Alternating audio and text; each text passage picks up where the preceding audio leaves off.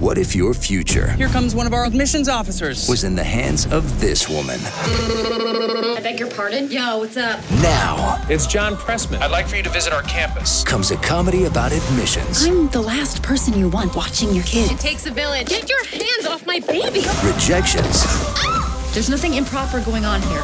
I'm gonna exit the show now. and giving it your best shot. No means no. Mom, put the gun down. Admission